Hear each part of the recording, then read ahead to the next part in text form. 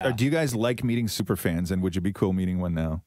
Yeah. Yeah, Maria. Maria's one of the producers on the show. We've kept her away from you guys since you walked Um, into the building. okay. Maria, you want to come in and meet the guys from Loud Luxury? You make me sound crazy. Yeah, Come on. come in. Okay. hey, hey, as long as you just just don't steal my kidneys and we're I, I promise I won't. Come on Maria. What Okay, if we come on. said no? yeah, I know.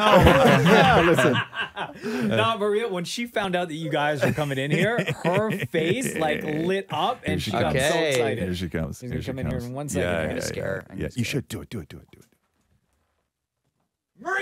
Do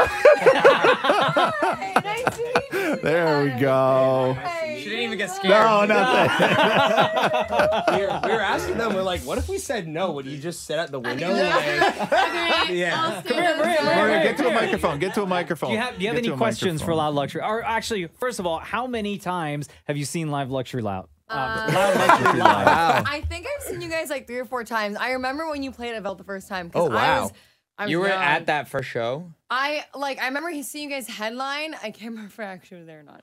But um, Too many beers. yeah, I, I, I so can't many remember that. But I've seen you guys a few times. Saw you in Vegas. Okay, good. Um, so Wow. it's been like love I that. feel like I've been following you guys along the way, not go. in a creepy way. No, not one of not- those weird super fan ways. Do you have a uh, Do you have a question for Loud Luxury? Yeah, I mean, for me, it's like, how do you guys continue to stay creative and make all these like fun songs? You guys are such a big glow up so quick, which is like amazing. Yeah. It's nice because we work with a lot of different people. So every every time it's different. So it keeps it like fresh, you know? Yeah. I, u- I used to think that inspiration was something that just kind of like hit you like the way your morning coffee does, but you really actually have to chase it. Yeah. So whether that's taking a walk or just listening to a song you've never heard before, whatever you can do. God, if she asked that question and one of you just said none of your business, I would have died. We should have we should have really hoping had done this that? differently. You guys have really been you guys have really been begging for a moment where we just absolutely dunk on Maria. Just be as mean as possible.